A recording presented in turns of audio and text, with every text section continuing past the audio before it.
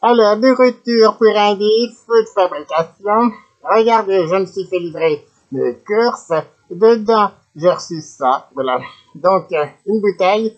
Mais regardez, vous voyez quelque chose, dedans? Hein? Moi, je ne vois rien. Donc, euh, j'ai oublié de mettre ce qui, ce qu'il devait y avoir dedans, il n'y a rien du tout. Ah, moi, je ne vois rien. Je ne vois rien, donc pour moi, c'est un défaut de fabrication. Je dois vous dire, j'en ai par-dessus le jonc, hein, des défauts de fabrication. C'est pas le premier que je me tape, et ça commence à me faire. Voilà. Encore un de plus. Merde.